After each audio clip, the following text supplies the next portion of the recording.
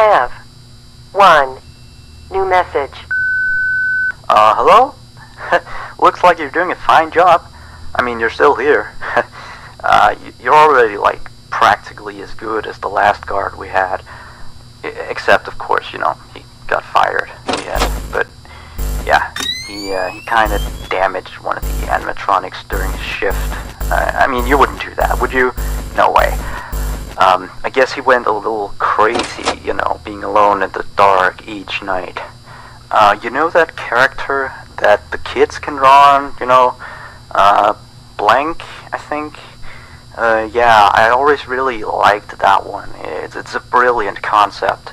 Uh, yeah, his suit is made out of some special plastic stuff, I think, uh, that the kids can come in and, you know, uh, grab a crayon and uh, start drawing on his head or his arms. Uh, some of the others here think that he looks a bit scary um, after that whole uh, security guard thing. Uh, we, we tried our best to fix him, but uh, parts of him, like his left hand and the back of his head, are still missing. Uh, but, but the kids don't really seem to mind it, you know, so it's not a major issue. Um, yeah.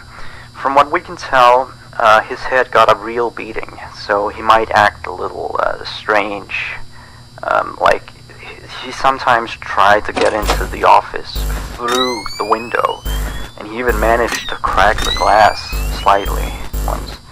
Uh, yeah, if he leaves the drawing room, just shut the window door so he doesn't break the glass. Those old ones couldn't really see glass very well.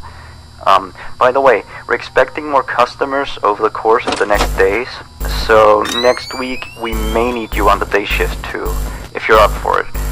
Um, well, anyway, have a good night.